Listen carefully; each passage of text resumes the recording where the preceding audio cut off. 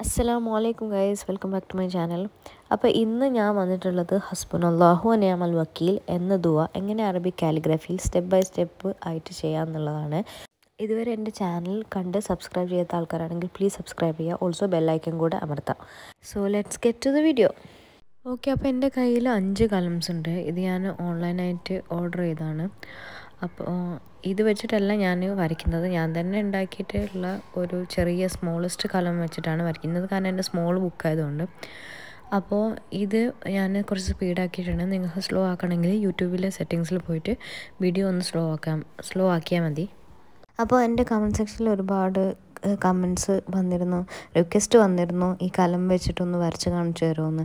പിന്നെ അതേപോലെ തന്നെ കാലിഗ്രഫി പഠിച്ചിട്ടുണ്ടോ എന്നുള്ള ക്വസ്റ്റ്യൻസ് വന്നിരുന്നു. അപ്പോൾ ഞാനിപ്പോൾ ലെറ്റേഴ്സ് ലെറ്റർ ബൈ ലെറ്റർ ഓൺലൈനായിട്ടൊക്കെ ഓരോ സ്ഥലത്തു നിന്നൊക്കെ പഠിച്ചുകൊണ്ട് വരികയാണ് നിങ്ങൾ തുളുത്ത് സ്ക്രിപ്റ്റ് വെച്ചിട്ട് കാലിഗ്രഫി വരയ്ക്കുകയാണെങ്കിൽ അതിന്റെ ലെറ്റേഴ്സ് എല്ലാം കൂടെ അതിന്റെ റൂൾസൊക്കെ പഠിച്ചതിന് ശേഷം മാത്രമേ സെയിൽ ചെയ്യാൻ വേണ്ടിയിട്ട് നിൽക്കാൻ പാടുള്ളൂ. ഇവിടെ ഞാൻ ഹസ്ബൻ അള്ളാഹി വനയമൽ വക്കീൽ എഴുതിയതിന് ശേഷം ആർട്ട് ലൈൻ കാലിഗ്രഫി പെന്നിന്റെ ടു പോയിന്റ് സീറോ എന്ന പെന്ന് യൂസ് ചെയ്തിട്ടാണ് ഞാൻ ഹർക്കത്തൊക്കെ ഇട്ടിട്ടുള്ളത്. അപ്പോൾ ഈ ഹസ്ബൻ അള്ളാഹു അനയാമൽ വക്കീൽ എന്ന് പറയുന്നത് ദൂ ഭയങ്കര പവർഫുൾ ആയിട്ടുള്ള ദുവ ആണ് ഇബ്രാഹിം നബിനെ തീയിലെറിയപ്പെട്ട സമയത്ത് പ്രാർത്ഥിച്ചിട്ടുള്ള ഒരു ദുവ ആണിത് അപ്പോൾ ഈ ഹർക്കത്തൊക്കെ ഇട്ടതിന് ശേഷം നമുക്ക് അടുത്ത സ്റ്റെപ്പിലേക്ക് കിടക്കാം. അപ്പോൾ ഇത് ഞാനൊരു ബ്ലാക്ക് സ്കെച്ച് ബുക്കിലേക്കാണ് ട്രാൻസ്ഫർ ചെയ്യുന്നത്. ഇത് നിങ്ങൾക്ക് ഏജുമാർട്ടിൽ നിന്ന് വാങ്ങാൻ കിട്ടും. ഓൺലൈനായിട്ടും കിട്ടും. ഞാനിവിടെ എന്താ ചെയ്യുന്നതെന്ന് അറിയാൻ വേണ്ടിയിട്ട് ഒരാൾ ഇവിടെ നോക്കാൻ വന്നിട്ടുണ്ട്. എന്റെ പെന്നും പേപ്പറൊന്നും ഇവിടെ ഒരാൾ ബാക്കി വെക്കാറില്ല.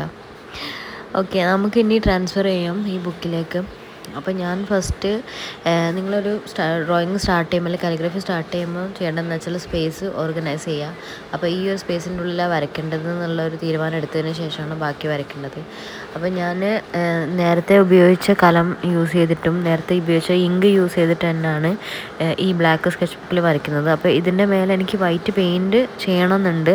അപ്പോൾ അതിന്റെ സ്പേസിംഗ് ഒക്കെ കറക്റ്റ് ആവാൻ വേണ്ടിയിട്ടും പിന്നെ ലെറ്റേഴ്സിന്റെ വിടുത്തും ഒക്കെ കറക്റ്റ് ആവാൻ വേണ്ടിയിട്ടും ആണ് ഞാൻ ഈ കലം കൊണ്ട് വരയ്ക്കുന്നത്. നമുക്ക് പെൻസിൽ കൊണ്ട് വരയ്ക്കാൻ പ്രശ്നമില്ല. പക്ഷേ അതിന്റെ റൂൾസ് അനുസരിച്ചാണ് നിങ്ങൾ ലെറ്റേഴ്സൊക്കെ വരയ്ക്കുന്നത് എന്നുള്ളത് കൺഫേം ചെയ്തിട്ട് മാത്രമേ കാലിഗ്രഫി വരയ്ക്കാൻ പാടുള്ളൂ. അപ്പോൾ ഇത് ജസ്റ്റ് ഒരു സിമ്പിൾ ട്യൂട്ടോറിയലാണ് ഇതുപോലുള്ള വേഴ്സസ് അല്ലെങ്കിൽ ദുവ വേറെ നിങ്ങൾക്ക് ചെയ്യണമെങ്കിൽ എന്റെ കമന്റ് സെക്ഷനിൽ കമന്റ് ചെയ്യാം. അപ്പോൾ ഇതൊക്കെ വരച്ച് കഴിഞ്ഞതിന് ശേഷം നമുക്ക് അടുത്ത സ്റ്റെപ്പിലേക്ക് പോകാം അപ്പോൾ ഇനി ഞാൻ പെയിന്റ് ചെയ്യാൻ വേണ്ടിയിട്ട് ഫെബിക്രിലിന്റെ അക്രിലിക് കളറായിട്ടുള്ള ബൈറ്റ് ട്വന്റി സെവൻ കോഡാണ് ഞാൻ യൂസ് ചെയ്തിട്ടുള്ളത്. അതേപോലെ തന്നെ നിങ്ങൾക്ക് കസ്റ്റമൈസ് ചെയ്തിട്ട് ഇതേപോലെ നെയിംസ് ചെയ്യണമെങ്കിൽ എന്റെ ഇൻസ്റ്റാഗ്രാം പേജായ ഫർഷസ് കാലിലേക്ക് മെസ്സേജ് അയക്കാം. നിങ്ങൾ ജസ്റ്റ് വൺ കോട്ട് മാത്രം കൊടുത്താൽ മതി. ഭയങ്കര ഡാർക്കായിട്ടുള്ള അക്രിലിക് പെയിന്റ് ആണെങ്കിൽ. ഞാനിപ്പോൾ അടിച്ചത് ഭയങ്കര ലൈറ്റ് ആയതുകൊണ്ട് പെയിന്റ് ചെയ്തിട്ടുള്ളത് ഭയങ്കര ലൈറ്റ് കളർ ആയിട്ടുള്ളതുകൊണ്ട് ഞാൻ ചില ഭാഗങ്ങളിലൊക്കെ ഡാർക്കായിട്ട് കൊടുത്തിട്ടുണ്ട്. ബട്ട് അത് ബ്ലാക്കിന്റെ മേലായതുകൊണ്ട് നല്ലൊരു ഇഫക്റ്റ് വരുന്നുണ്ട്. നിങ്ങൾ ക്യാൻവാസിലാണ് ചെയ്യുന്നതെങ്കിൽ ഫസ്റ്റ് നോർമൽ വൈറ്റ് ക്യാൻവാസ് ആണെങ്കിൽ അത് പ്രൈം ചെയ്തിട്ട് പ്രൈമർ യൂസ് ചെയ്തിട്ട് അതിന്റെ മേലെ ബ്ലാക്ക് പെയിന്റ് യൂസ് ചെയ്തിട്ട് ഇതേപോലെ വൈറ്റ് പെയിന്റിൽ കാലിഗ്രഫി ചെയ്യാവുന്നതാണ്.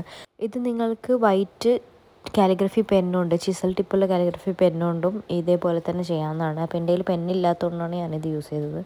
പെൻസിൽ മാർക്സൊക്കെ അതേപോലെ ഇറേസ് ചെയ്യുക. പിന്നെ ഫെബിക്രിലിന്റെ തന്നെ ഏതെങ്കിലും മെറ്റാലിക് കളർ യൂസ് ചെയ്തിട്ട് ഇപ്പോൾ ബ്രോൺസ് ത്രീ ഫിഫ്റ്റി ഫൈവ് ആണ് ഞാൻ യൂസ് ചെയ്തിട്ടുള്ളത്.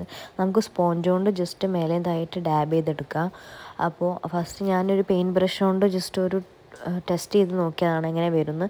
പിന്നെ അതേപോലെ തന്നെ സ്പോഞ്ച് കൊണ്ട് അപ്ലൈ ചെയ്യുമ്പോൾ ഡാബ് ചെയ്ത് ഇങ്ങനെ ജസ്റ്റ് ഒന്ന് തൊട്ട് കൊടുത്താൽ മതി. ഇങ്ങനെ ഡാബ് ചെയ്തിട്ടുള്ള ഒരു മോഷൻ ചെയ്യുന്ന സമയത്ത് നമുക്ക് പെട്ടെന്ന് ഇത് ചെയ്ത് തീർക്കാൻ പറ്റും. പിന്നെ മേൽഭാഗത്ത് സ്ട്രീറ്റ് ലൈൻ പോലെ കിട്ടാൻ വേണ്ടിയിട്ട് അതപ്പോൾ നിങ്ങൾ ക്യാൻവാസിൽ ചെയ്താൽ അതെങ്ങനെ ഉണ്ടാവുമെന്ന് കാണിച്ചു തരാൻ വേണ്ടിയിട്ടാണ് ഞാൻ സ്ട്രീറ്റ് ലൈനിന് കൊടുത്തത്. അപ്പോൾ ഇതും അതേപോലെ തന്നെ മേലെ ഭാഗത്തും താഴെ ഭാഗത്തും പേൾ മെറ്റാലിക് കളർ യൂസ് ചെയ്തിട്ട് അത് ബ്ലാക്കും വൈറ്റും ഫിനിഷ് അടിപൊളിയായിരിക്കും കാണാൻ നല്ല ഷൈനി ആയിട്ടാണ് ഈ ഒരു മെറ്റാലിക് ടച്ച് ലാസ്റ്റിൽ നമുക്ക് കിട്ടാം അപ്പോൾ ഇതാണ് ഞാൻ ചെയ്ത് തീർത്തിട്ടുള്ള കാലിഗ്രഫി അപ്പോൾ നിങ്ങൾക്ക് ഇഷ്ടമായിട്ടുണ്ടെങ്കിൽ ഇതിന്റെ കമൻസ് ഒക്കെ കമന്റ് ബോക്സിൽ ഇടുക. അതുകൂടാതെ തന്നെ എന്റെ ബാക്കിയുള്ള വീഡിയോസൊക്കെ ഒന്ന് പോയിട്ട് കാണണം.